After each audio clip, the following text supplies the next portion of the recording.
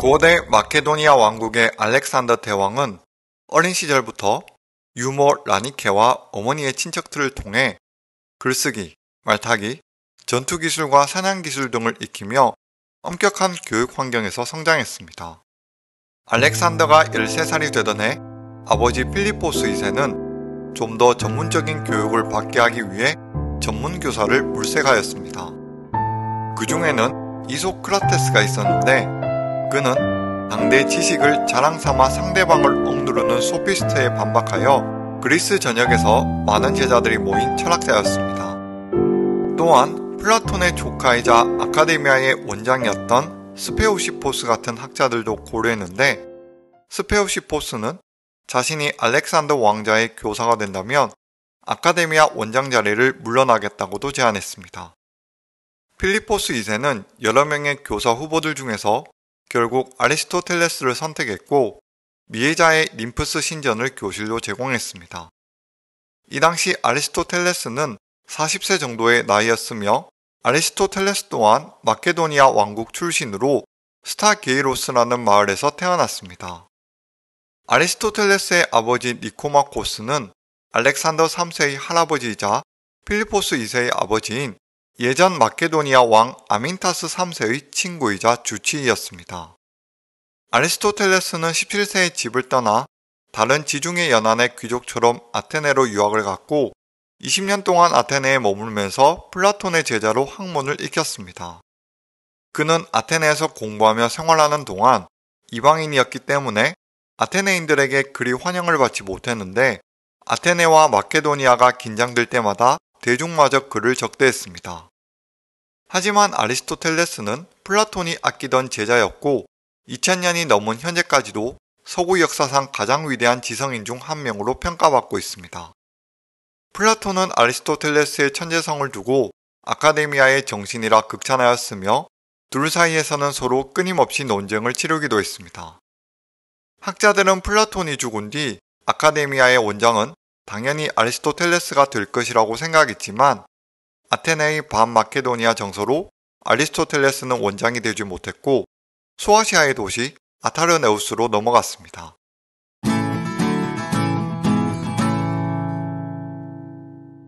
아리스토텔레스와 플라톤 둘 사이에서 대립하고 있던 부분은 서로가 정치에 대해 다른 관점을 보이고 있었던 점입니다. 플라톤에게 있어 올바른 정치란 뛰어난 인재가 철학 교육과 실무적인 경험을 쌓아 지혜와 덕을 가진 사람이 국가를 통치하는 것을 의미했습니다.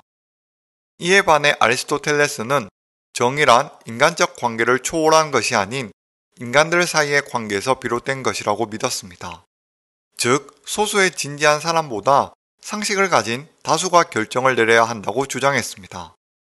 정치적 견해나 진리를 탐구하는 관점의 차이로 인해 아리스토텔레스는 스승과 학문적으로 결별하여 이후로도 스승의 이론에 대한 비판을 이어갔습니다. 플라톤의 사후 아리스토텔레스는 아카데미아 시절 친한 하구였던 헤르미아스를 찾아갔는데 헤르미아스는 아타르네우스의 참주이기도 했습니다.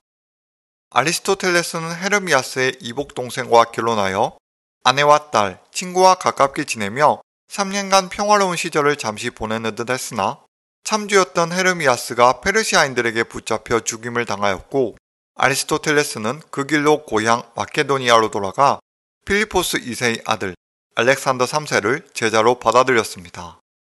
필리포스 2세는 아들을 가르쳐주는 대가로 과거 자신이 영토를 확장하던 중에 파괴했던 아리스토텔레스의 고향 스타게이라를 재건해 주었습니다.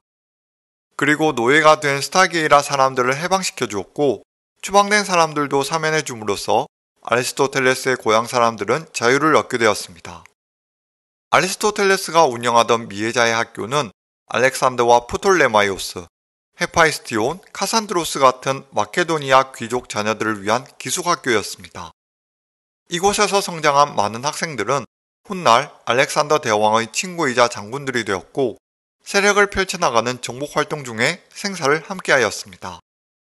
아리스토텔레스는 알렉산더와 그의 친구들에게 의학, 철학, 윤리, 종교, 논리, 예술 등을 가르쳤습니다. 알렉산더는 스승의 교육을 받으며 호메로스의 작품들, 특히 일리아드에 대한 열정을 키워나갔습니다.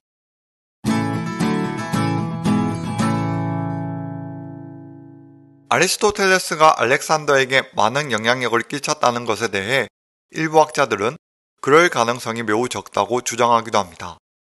특히 1950년대의 노벨문학상 수상자이자 가장 위대한 논리학자로 알려진 버트런드 러셀이 지은 러셀 서양 철학사는 철학사에서 독보적인 정전으로 평가받는데 그는 저서를 통해 둘 사이의 사상적 영향력은 적을 것이라 말했습니다.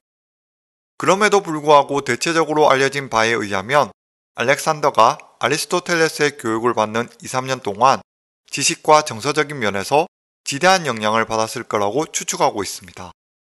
알렉산더는 젊은 시절 아버지는 자신에게 생명을 주었지만 아리스토텔레스는 자신에게 고귀한 삶을 가르쳤다는 이유로 아버지보다 더욱 존경한다는 말을 하고 다녔습니다. 하지만 세월이 흘러 알렉산더의 대외 원정 기간 동안 마케도니아 왕권 강화에 신경을 쓰던 중 그리스 우월주의 주장을 꺾지 않는 아리스토텔레스와 대립하여 정치적 이해관계로 그의 조카를 처형하게 됩니다. 알렉산더 대왕의 청소년기의 교육을 주도했던 아리스토텔레스는 알렉산더가 성인이 될 무렵 자신의 자리를 친척에게 물려주고 50세의 나이로 다시 학문의 중심지인 아테네로 향하였습니다. 그는 아폴로 신전 경내의 리키이온에 자신의 학원을 세우고 13년간 학생들을 가르쳤는데 나무 사이를 거닐며 철학을 논했다고 해서 거닐다는 뜻의 소요학파로 불렸습니다. 아리스토텔레스는 리케이온을 통해 제자들을 양성하며 물리학, 형이사학, 생물학, 수사학, 정치학 등 다양한 주제로 많은 책을 서술했습니다. 하지만 훗날 알렉산더 대왕이 죽고 나자 마케도니아인을 싫어한 아테네인 사제 에우리메도는 아리스토텔레스가 그리스 신을 제대로 모시지 않는다는 이유로 불경죄로 고발하였고 아리스토텔레스는 63세 때 은퇴를 결심합니다. 그는 어머니 쪽 고향인 에우보이아의 칼키스라는 작은 섬나라로 탈출하였는데 아테네로 하여금 철학의 두 번 죄를 짓게 하진 않겠다라는 말을 남겼습니다. 이는 자신의 스승 플라톤을 가르쳤던 대스승인 소크라테스가 오래전 아테네의 악법에 따라 독약을 마시고 억울하게 죽은 것에 대해 의식한 말이기도 했습니다. 오늘은 알렉산더 대왕 시리즈 네 번째 시간으로 알렉산더의 스승 아리스토텔레스에 대한 이야기로 정리해 보았습니다. 다음 알렉산더 시간에는 아리스토텔레스에서 받던 교육이 끝나고 필리포스 2세가 북쪽 트라키아와의 전쟁을 떠났을 때 알렉산더의 섭정과 계승자로서의 경험을 다루도록 하겠습니다.